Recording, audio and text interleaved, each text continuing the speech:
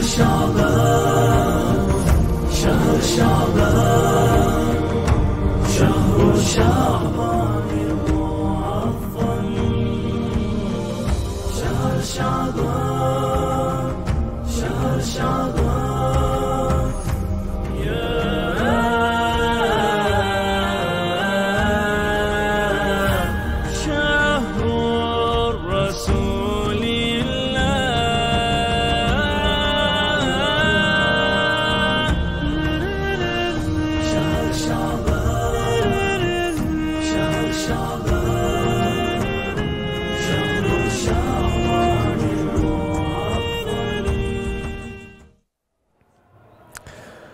اللهم صل على محمد وآل محمد وعجل فرجهم والعن أعداءهم وقتلتهم وظالميهم ومخالفيهم أجمعين. آمين. اللهم عجل لوليك الفرج والعافية والنصر واجعلنا من خير أعوانه وأنصاره. آمين. Dear viewers of Imam Hussein TV, Salam Alaikum. My special greetings to you on these blessed nights of festivity as we're approaching the anniversary of the birthday of Imam Hussein. Salawatullah salamu alayhi. Peace and divine blessings and benedictions be upon him.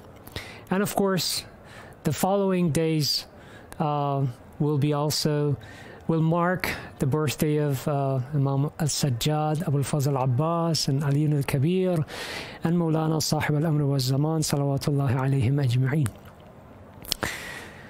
I am honored to be joined here in the studio by the uh, revered cleric, uh, Sheikh Vinay, uh, and we've been having some fascinating discussions uh, on different topics.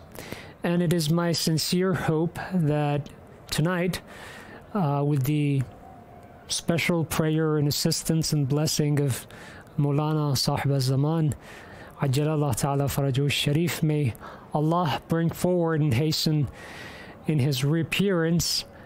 We'll have a fruitful discussion and you will uh, enjoy it.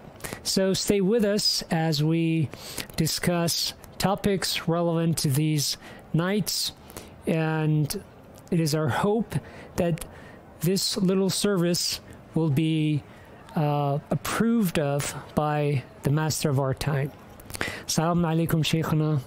It is a pleasure to have you here again. Wa alaikum salam wa rahmatullahi wa barakatuh. It's my honor to be here. Great.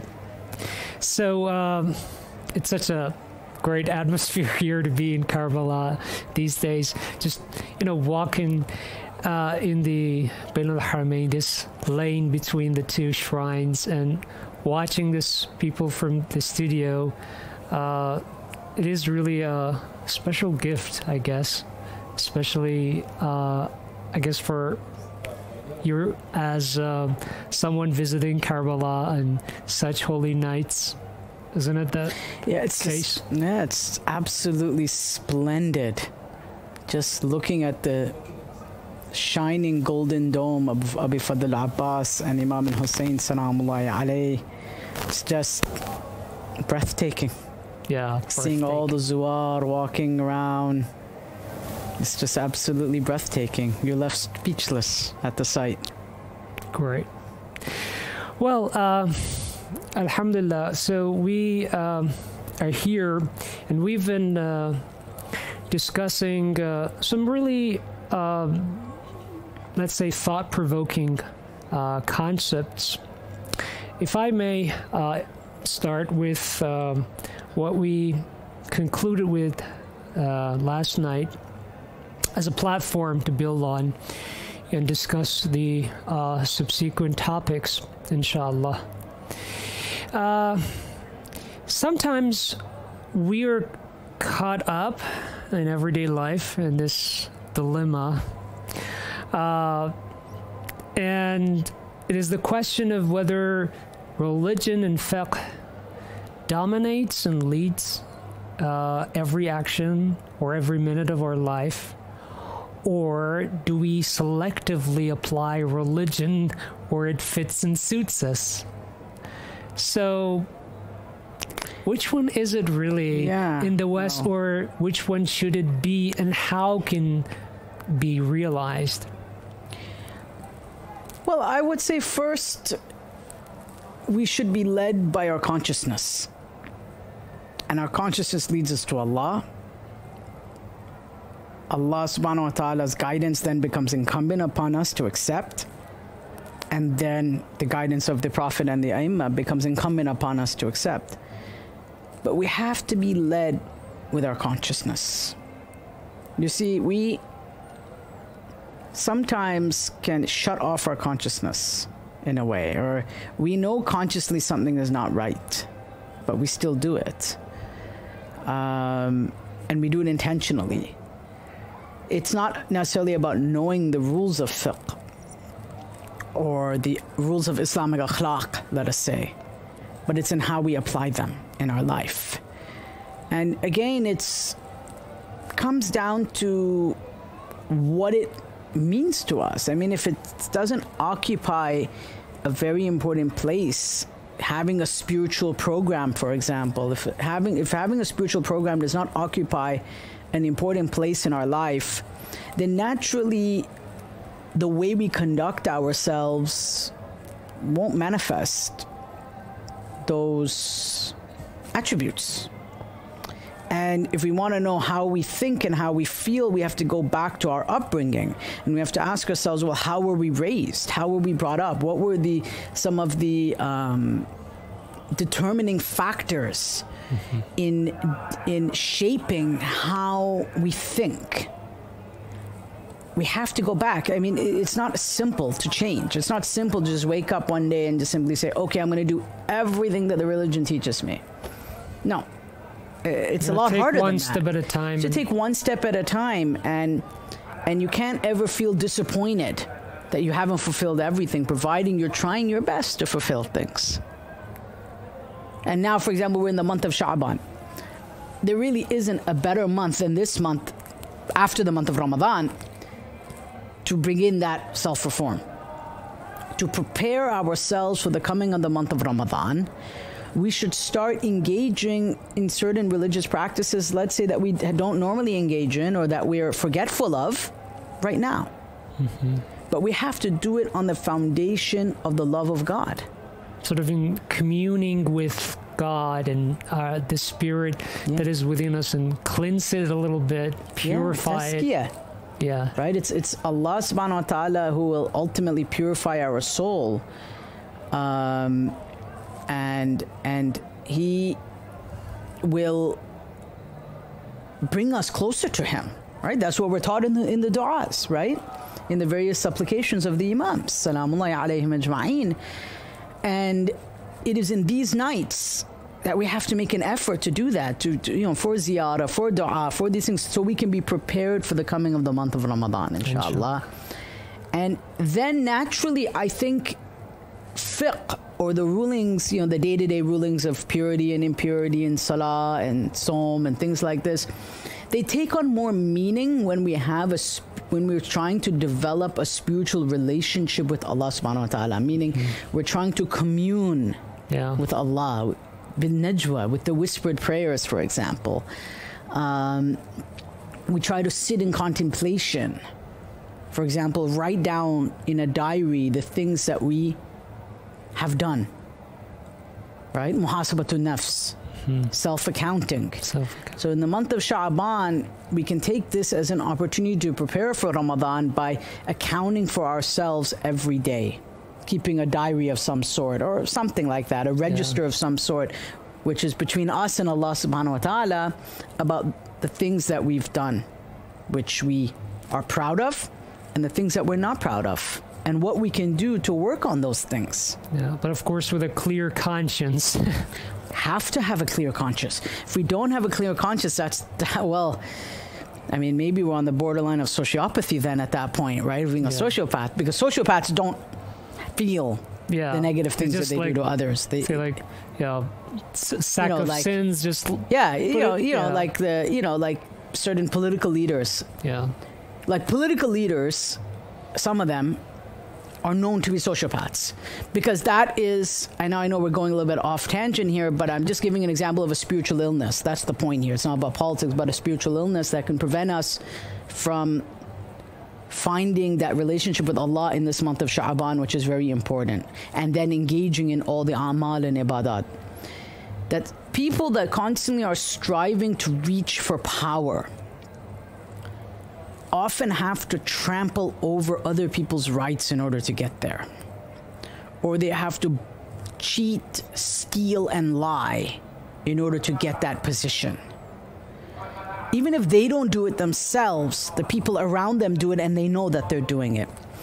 So I, I remember I was sitting having coffee with a friend of mine who was, you know, in politics for a while, or not in politics, but he was in those, that circle and I remember him telling me something, and he's like, most political leaders, not all, not all, I'm not saying all, especially in the West, are sociopaths. There's a deep darkness in their heart because they got to where they got by cheating, lying, and stealing. Very often. Not always, but very often. Speaking there was an element of that, of that. Speaking of that, you know, dark side within us, which can, you know, take over and lead us down the, let's say, abyss of uh, kufr, uh, probably apost- uh, disbelief and apostasy. Uh, we spoke of the concept, very important concept of dhikr, the state of uh, constant state of dhikr, and being in constant state of dhikr and remembrance of Allah subhanahu wa ta'ala, Ahlul Bayt alayhim salam, and this connection and bond with them. Can that help us uh, gradually sort of migrate from that darkness within these deep recesses of ourself into, you know, a brighter side? Yes. Short answer, yes. Long answer, is it's a process. Mm-hmm. It starts with, again, well, three things we need to think about here. Number one is really being conscious of, what, of, of who we've hurt and what we've done. Really being conscious of that. And that's hard. In a sense of you know, feeling ourselves accountable, accountable, and real for regret. what we've done. Yeah, remorse. Number two, then in now turning to Allah. Mm-hmm. Turn to Allah with all our heart. Like, just be straight, be honest with Allah. Be honest with Allah subhanahu wa ta'ala that, look, you know deep down I don't do the things that people may think that I do, or that I may not be the person that people think I am. Because every moment has their izzah. They don't show their dirty laundry to the fellow mu'min. That's in front of Allah subhanahu wa ta'ala, right? Um, even the Prophet and the Imams would not want to know yeah. the things that the companions were doing. They don't want to know those. That, that's with Allah subhanahu wa ta'ala. We don't just sit on a chair and just spill our guts out to somebody about about you know the things that we've done in our life. You know, um, in very limited and rare circumstances, that would be okay. And just pour your heart out to God and do that through in trying our best to engage with the supplications given to us by the imams and the prophet like the munajat of Sha'ban go look it up on YouTube Munajat Sha'baniyah. It is one of the most beautiful prayers I have ever read.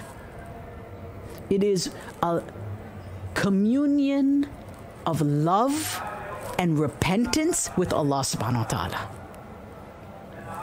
Dua Abi Hamza Thamali, Dua Kumail, Dua Makarim al Akhlaq, Dua Tawbah, and on and on and on just read a few lines if you want. Don't even read the whole thing. Just read a few lines every night. And then read some Quran. Mm-hmm. Because the qira'at of Quran always brings tawfiq. Mm-hmm. Some Quran. And make sure that we're fulfilling all our wajibat. Mm-hmm. So, number one, deep regret. Number two, once we have that feeling of deep regret, maybe take a pen and paper and list out the, the wrong things that we've done. You can rip it up after and throw it out in case someone sees Yeah. it. I wouldn't type it up and put it in your email. You never know who could download it, right? Write it out and then you could tear it up or whatever after.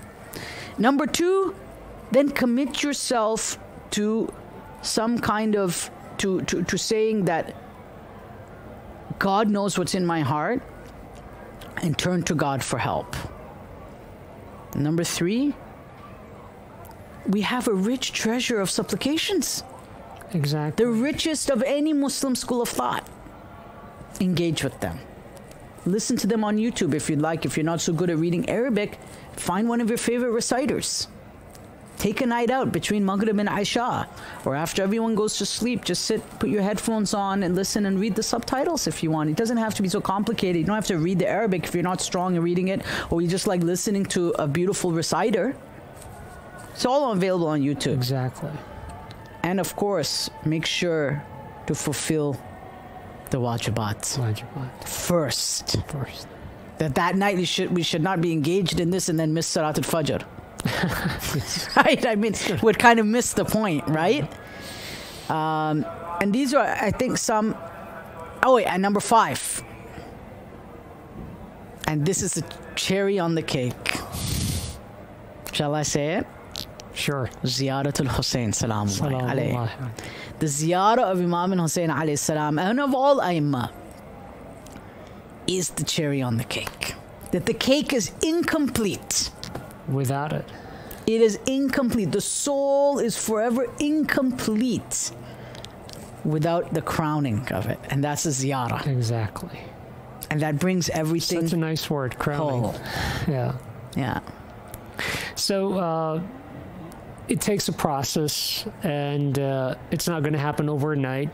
No. You have to be honest with yourself and take it upon yourself to, you know, travel in that direction and uh, ask.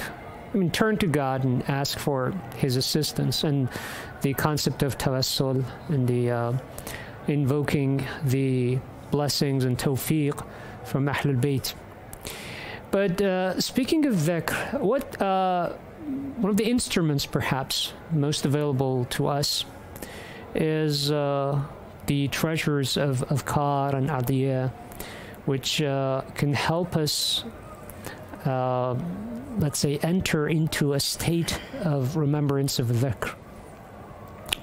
And uh, I think uh, one of the greatest uh, works, contemporary works, is Mafatihul Janan, which is so rich with uh, Yes. supplications and uh, ziyarat Yes. and ad'iyah. And uh, there's something mysterious and curious about this book. Uh, I'd like you to Sure. take it Yeah, well, from here because, yeah, I don't want to go lengthy. Yeah. Yeah. As a matter of fact, um, I, Alhamdulillah, just recently completed my doctoral dissertation on the subject of dua and ziyarat, and a part of that is a discussion of Mafatih al Jinan of Sheikh Abbas al Qumi, which means the keys to paradise, Mhm. right? The keys to the gardens of paradise, the Jinan. Um, where does one even begin with this book? It is a collection of supplications and ziyarat and athkar, which are things that we, you know, like the names of Allah subhanahu wa ta'ala. Um, that a great muhaddith, a great, great, great scholar, a great scholar of hadith by the name of Sheikh Abbas al Qummi, may Allah be pleased with him, compiled in the city of Najaf. And he put a lot of effort into it and he had access to one of the greatest libraries of his day which was a library of his teacher Mirza Nuri Tabarsi and others Mirza Hussein Nuri al-Tabarsi and he had access to that library and he made use of it. And he was also among the most pious people of his day. I'll give you an example of his love for the ahadith of Ahlul Bayt alayhim that one day he was having trouble reading. He had an eye problem. And he took a little bit of that ink that he used to write hadith just a touch of it. He just put it on his eye, just a touch of it, maybe on top of the eye, not inside the eye. And he never had an eye problem again. This is the barakat of the hadith of Ahlul Bayt salam, that he was a man of profound zuhud and asceticism and spirituality. A man perhaps unlike other scholars of his age. Before he published this book of du'as and ziyarat, he refused to publish it until he practiced every, Every single, single supplication and ziyarah and amal in this book. Yeah. This is incredible. I was just going to mention But that you did. I shall say that the practice of Sheikh Abbas al Qumi is not new. This practice goes back to the days of the of Sheikh Tusi and Ibn Tawus. Sheikh Tusi lived during the early part of Ghaybat al-Kubra, of the greater occultation, at the beginning of the 5th Islamic century. He was a founder of the Hawza of Najaf, and he compiled a book called Misbah al-Mutahajjid, which is the lantern for the night worshipper, was Silah al-Muta'abbid, and the weapon, you know, for the uh, one that is worshipping all the time, the Muta'abbid. He was a founder of the Hawza of Najaf, and he compiled a book of dua and ziyarah as well, which essentially became the Mafatih al-Jinan of his day for hundreds of years, actually. Hundreds of years. Sheikh Abbas Qumi hasn't even been a century. Hundreds of years, Sheikh Tusi's book was practiced by the scholars. In fact, it still is today, because it's one of the main sources of Mafatih al-Jinan.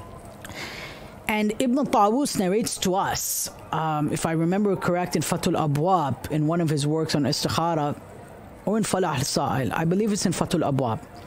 Ibn Tawus mentions that a scholar like Tusi do, does not compile a book like this unless he wears it around his neck first, as a qilada, as a necklace. What a beautiful way that he adorns himself first with the akhlaq and the mannerisms and the worship instilled within such supplications and ziyarat. This is the status of our great scholars. They're not, they don't just write these kinds of books for like that. You know, they, they take these things very seriously, especially the books of ibadat. Um, and this was Sheikh Tusi's practice. This was Ibn Tawus's practice. So naturally, Sheikh Abbas al-Qummi is following a line of a thousand years or more, rather, going back to the time of the Imams, but especially from the published books that we have, a thousand years of tradition. Yes. It's remarkable. So he saw himself, the compiler of Mafatih al Jinan, saw himself as a part of a spiritual chain of inherited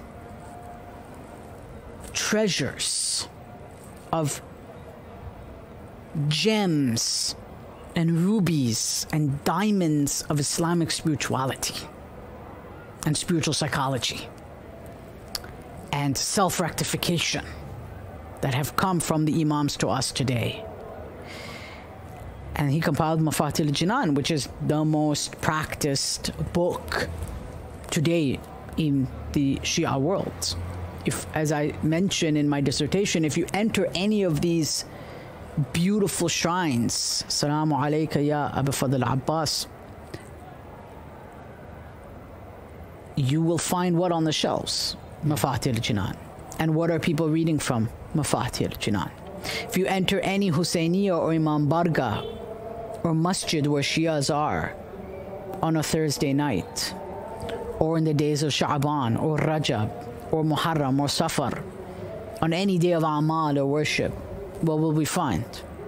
Mafatih al-Jinan could this just be because he had a self promotion? You know, he wanted to promote himself, he wanted to have a team, a PR team to promote his book?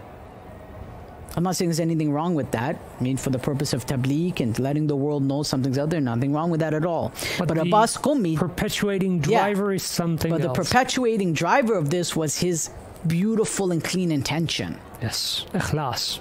his ikhlas, which made his name to be remembered for time immemorial. Wow, he was a great man, a very pious scholar, a great man. Um, And adding to that, maybe is that he dedicated his book to uh, Sayyidun Nisa al Alameen, Fatima al-Zahra, Yeah. salamullah alayha. And uh, she is the, you know, the lady of barakah. yeah, And uh, so all these benedictions, uh, she's the Mubarakah, Sayyidatul Mubarakah.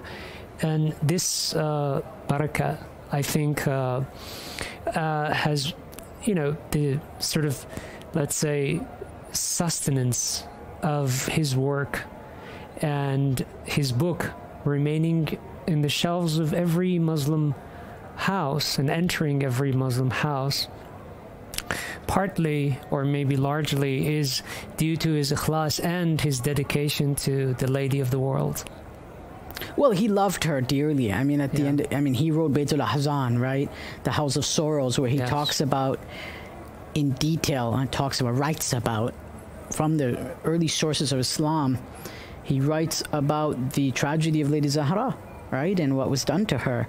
So, I mean, he was just a magnanimous personality animals of Islam, a fountain of Islamic spirituality and love for Ahlul Bayt and a follower of them. Um, and he is fr- a product of the Hawza of Najaf. yes And um, yeah, I mean that's that's his story, and his book is ubiquitous. I mean, it's it's it's everywhere. You can't you can't not find a copy of Maf- of Mafatih. Um, and we have to realize that what he has included in this book, right? It's divided up into different parts, right? It begins with some of the general du'as and ziyarat, then it goes to those days of the month or month, those days of the month that are particular. Mm-hmm. Because Islam has a spiritual calendar, right? Some begin it with Muharram, some begin it with Ramadan. Yes, the first month is Muharram, but in some books it begins with Ramadan because that's the most spiritual month, and then it goes from there. It's not meant to be in, in a particular chronological order. Chronological, yeah. So Sheikh Abbas al-Qummi arranges his book with some general supplications and he follows it by the by the amal that he could find, that he would know about. It doesn't mean that every single thing in his book is authentic. Nobody's saying that. They're just saying he was a learned scholar. He had access to a lot of early sources and manuscripts. He was learned in hadith and he had studied with some of the great scholars of hadith. yes And he was a specialist in the subject of dua and ziyarah Yes. as was Nuri Tabarsi, his teacher. So he compiled this book, The Spiritual Calendar for the Shias, which again, I must emphasize to Mu'mineen, already existed from the time of the Imams. It wasn't anything new that he brought forward in Mafatih al-Janan, but he arranged it in a new way. And that, I think, is a very important point about his life and about his work. And then, inshallah, we can come back to that. Sure. Thank you uh, very much for um, perhaps illustrating in detail what this book is all about, the different chapters, and uh, we can perhaps talk more about his personality and his other works so that uh, our dear viewers will know him a little bit more and uh, during these nights maybe remember him and uh, make him partner in uh, what they do. And of course uh, he has a great station with Ahlul Bayt and may his blessings of course be upon all of us so, uh, thank you, uh, dear viewers, for uh, being with us until this moment. After a short break, we'll join you and uh, we'll continue this wonderful discussion. Thank you.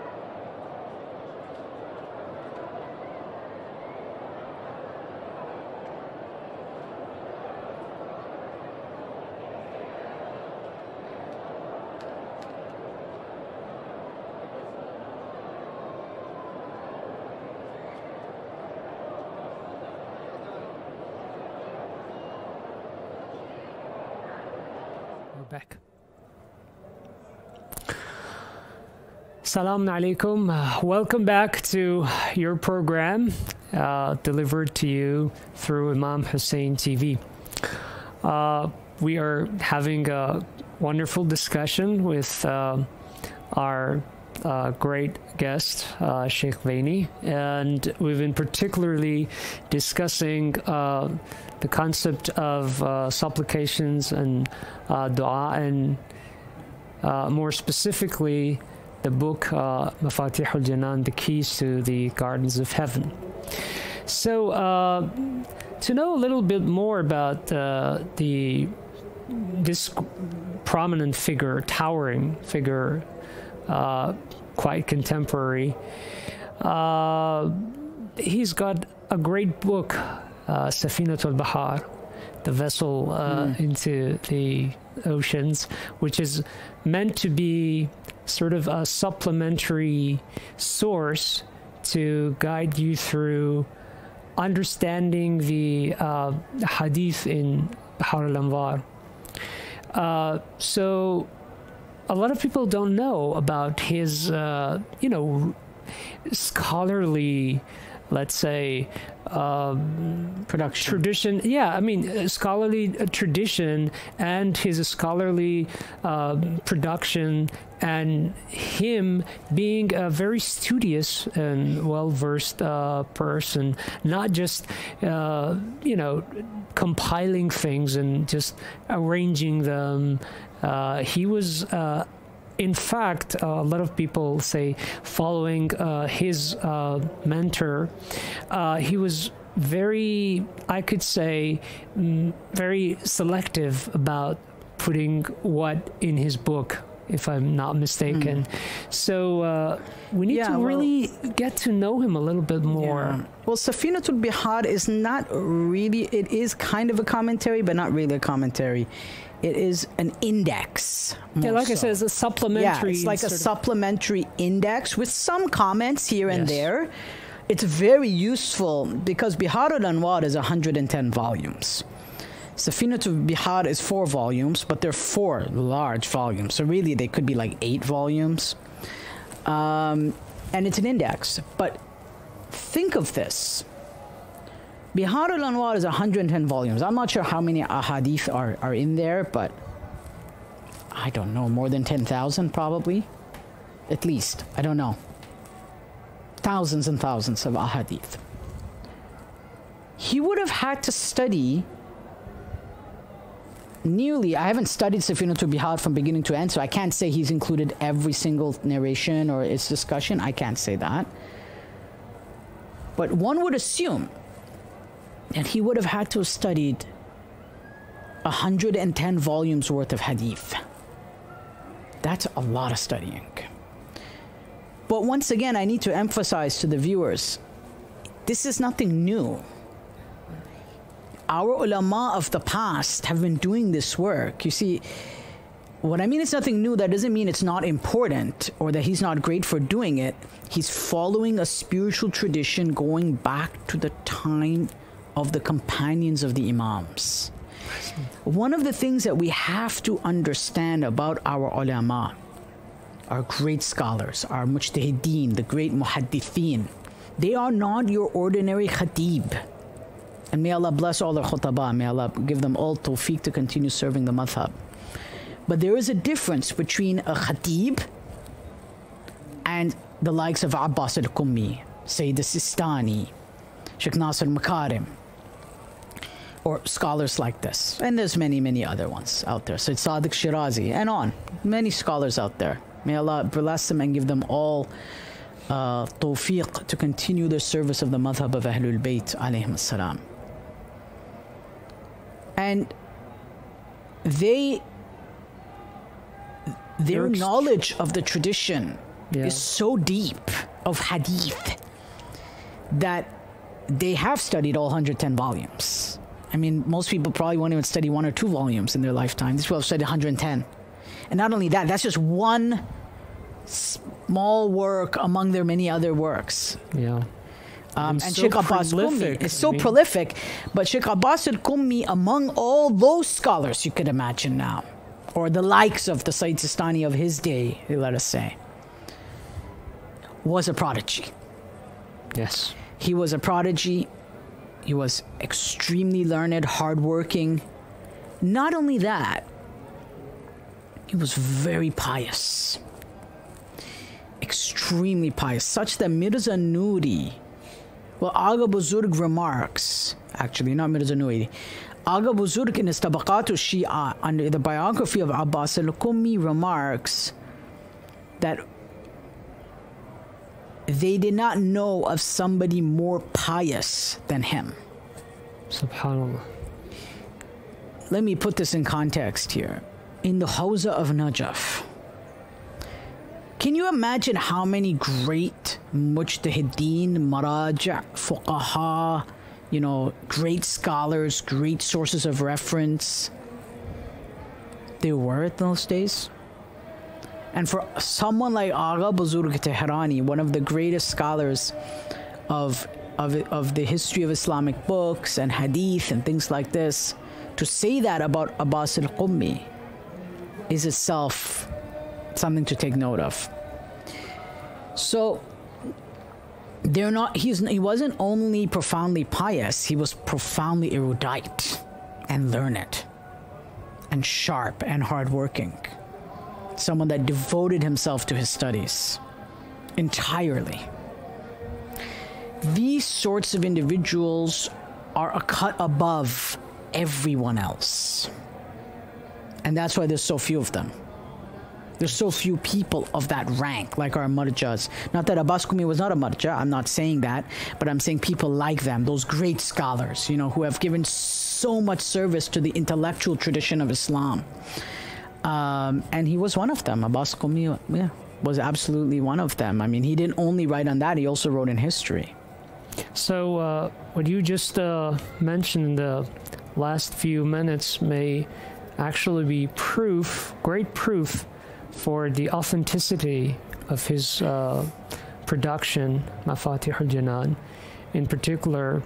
And uh, if I'm not mistaken, so because uh, uh, undoubtedly he put uh, a lot of effort, scholarly effort, days after days and nights into this book.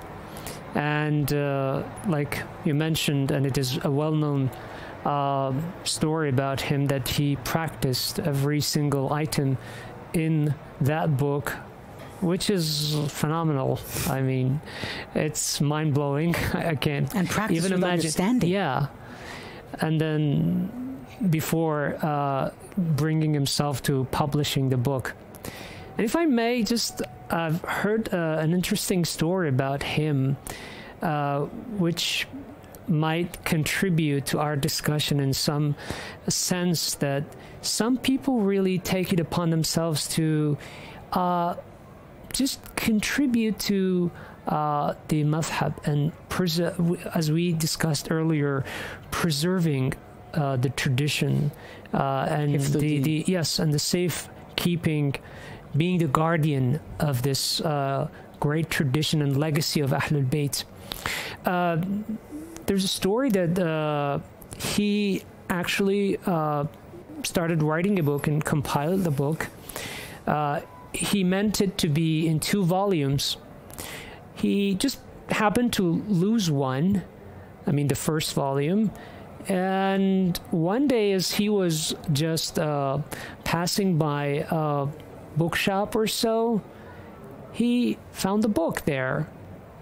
So, I mean, so he lost that first volume of his uh, book, but uh, before he could, you know, get a chance to publish it, uh, the, there's no reference as to how it happened or so. But when he saw that published, uh, what would be the reaction of like you and I or any average person?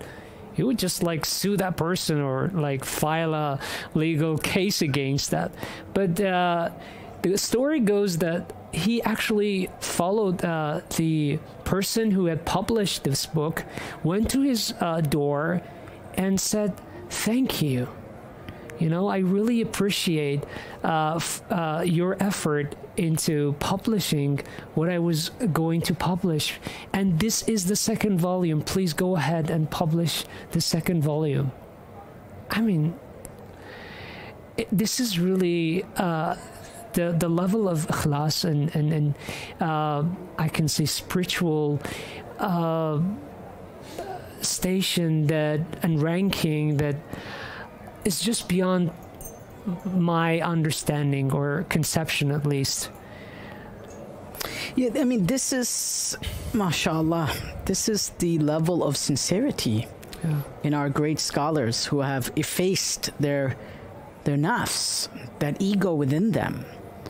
I mean, this is what I mean by saying that our great scholars, like our maraja, mujtahideen, the great researchers of Islam, they've done a lot of work on their spirituality as well. They're not only intellectuals par excellence at the highest, at the absolute highest level, but they've in tandem focused and practiced on their souls. And again, this goes back to the time of the Imams, their companions, until Abbas al Qummi. This is a spiritually inherited tradition of spiritual purification and the pursuit of intellectual knowledge morning and night. Right? And a part of that is if it serves the deen, it serves the deen, whether it's under his name or under another person's name is immaterial at that point. It's not about Abbas Qummi, Exactly. It's, it's not about, preserving the religion. Preserving Now, that person publishing a book that is not his, not right. That's nobody's saying you should just steal someone's book. We're not and take their condoning his act, Yeah, of but course. praising the sincerity. But praising how Abbas al Qummi, Sheikh Abbas al Qummi, re- you know, responded to such a situation. And we have examples of other scholars who have done this. Yes. Oh, yes, there are examples of other scholars uh, who have also done this. I, I believe the late Sayyid uh, Muhammad Hussein al Shirazi. Yes. Actually Um, published the- some of his book under other yeah, people's yeah, names. yeah. The late, the late, the late uh, Marja who passed away, right? And you know, I remember hearing a story from some of his students who narrated this to me. Uh, so this is not unusual, and he's not the only one. I mean, all of our great scholars have this kind of mentality and approach to Islam and Deen and the madhab. Um, and may Allah subhanahu wa ta'ala give us a tawfiq to learn from them, to study their lives, and ultimately for them to guide us to the school, to be in the school of Ahlul Bayt. Ultimately, we are going to the fountain well, which is the Ahlul Bayt salam. They represent that tariq and that way to reach them through the ahadith and the kalam of Ahlul Bayt alayhim salam through their wisdom. Um, and Mafatihul Jinan is a product of that wisdom. And there's a reason why we trust it. There's a reason why Mu'mineen practice the the supplications in that book uh, because of who Abbas Qummi was and the sources he relied on, like Misbah al-Mutahajjid, like Iqbal al-A'mal, like Muhaj ad-Da'awat. These are early sources. And those sources relied on much earlier sources than them, coming back to the time of the Imams um, and the early period of Islam. So there is a general aura of trust. Again, I'm not saying the book is authentic. And you can't say that about, about any book except the Quran al Kareem. Can't just say any book is authentic. No. But there is an aura of trust and respect and um, reliability surrounding the book of Abbas al Qummi. And it has been translated into two volumes by Ali Quli Qarai. For those who want to go and order it online, I think you can. It's translated into two volumes, the work of Abbas al Qummi. Um, and I would highly recommend it. We are in the month of Sha'ban. There is no better time to start to, you know, start the engine of spirituality a little bit every day. It doesn't have to be a whole big long supplication. Mu'mineen, you know, I, I just want to remind all Mu'mineen that they don't feel like you have to achieve so much. It's the sincerity with Allah subhanahu wa ta'ala that matters the most. Now, yes, the amal that we perform, we should do them the way the Imams have taught us. But in daily night supplications, do as much as you can. It's not a competition. Mm-hmm. Do what you can. Read what you feel in your heart. But do something. We all should, and I advise myself first and foremost, we should all do something to connect with Allah subhanahu wa ta'ala during these months, during these months. And as I said, the ziyarah of Aimma is the polish. Exactly. Right? We're building the car, we're putting it together, we're making sure the parts are good. But we don't want to show it to anybody until it's polished. Exactly. Can't show it to anybody. It's, I mean, they, inside it looks great, but it's the ziyarah of Imam Hussein, which is, you know, mustahab for all these amal anyhow, for Laylatul Qadr, and, and we'll talk about that another day. I believe we're, we're going to be on the wiladat of Imam Hussein, but we can discuss that. But, um, yeah, let's all try to engage in some spiritual practices, inshallah, in this month of Sha'ban and take advantage of Sha'ban, in addition to obviously fasting as well, the days that we can. Inshallah.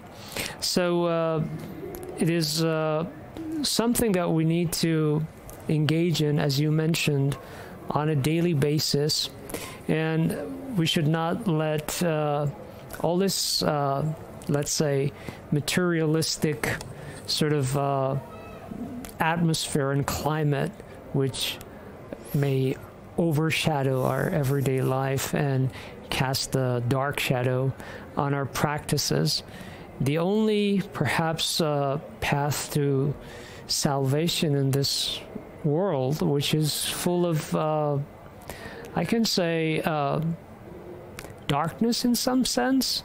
The only uh, tunnel of light is uh, following the path of Ahlul Bayt, and what better means than uh, the ziyarat and adiyah, and of course the uh, ziyarat of Ahlul Bayt, especially Maulana Abu Abdullah al Hussein. As you beautifully uh, phrased it, it is that you know finishing polish uh, that gives uh, great value, perhaps, to everything you've done. And I think uh, by by saying that it gives great value, maybe it's it's without his signature on our practices and everything we do, without uh, his uh, mercy, he is the mercy. In one of the ziyar we say, uh, rahmatul, uh, he's rahmatullah al-wasi'ah. So without his great mercy, perhaps uh, it would be arduous and difficult, uh, extremely for uh, at least me. Uh, but uh, with his blessing, I think it's just like, uh, Well, as metaphorically, like a an elevator. I mean, if I could just kind of summarize that, he's the highway to salvation. yeah. I mean, I use the word elevator in Yeah, the sense of and- transcendence, I mean, and you can just take a highway or a rocket to salvation, then you got Imam Hussein. exactly. I mean that. I mean, he is that mercy for everybody and all the imam, all the imams. The Prophet first and foremost as being rahmatullah lil alameen, as a mercy to the worlds. And what can we say about Imam Hussein? I mean, this just we're speechless, right? To describe his ziyarah, to describe this beautiful view, to describe the feeling of being in Karbala right now the feeling of just being present in the haram of Imam Hussein. And for those who are not able to come, to really recite the ziyarah from their home. And inshallah, they will receive their response. sure. Um, and we see in Mafatihul Jinan a great emphasis on ziyarat. Right? Because there's a whole section, the second half is devoted to ziyarat of the Imams. So clearly, Abbas al Qummi placed a lot of emphasis on ziyarat as well. Um, and it's a beautiful section actually, which guides you through the ziyarah of, of each imam, the ziyarah of Arba'in, of of um, of Laylatul Qadr and 15th of Exclusive Sha'ban. Yeah, yeah. Some are exclusive, some are general. Um, inshallah, we can talk about more about that on the night of uh, Imam al Hussein's uh, wilada. Salamullahi alayhi Abdullah. Inshallah. So, uh, thank you. It was really uh, a wonderful discussion, and uh, I believe uh, that uh, remembering people and reminding others of the people who dedicated everything and all their life to preserving that scholarly and spiritual tradition and legacy uh, is itself a great uh, act in such nights. Uh, we should not really uh, neglect the great contribution of these people. And uh, I believe personally that uh, these people hold such a great station and uh, they have contributed to the i mean the this tradition uh, taking this journey all the way from Ahl Bayt to our time without them it would have been uh, impossible. But let's not forget under the guidance and of course the uh, blessings of the master of our time Imam Zaman alayhi salam. Of course, I mean, his presence, the presence of Sahibul Zaman, is the key to everything. We can't have nothing without him. yeah No blessings without the Imam of our time. Okay. Well, uh, thank you very much, and I hope that we can uh, continue this discussion on the following Inshallah. nights, inshallah. And special thanks to you, uh, great viewers of Imam Hussein TV. Thank you for choosing this program and have a most wonderful night.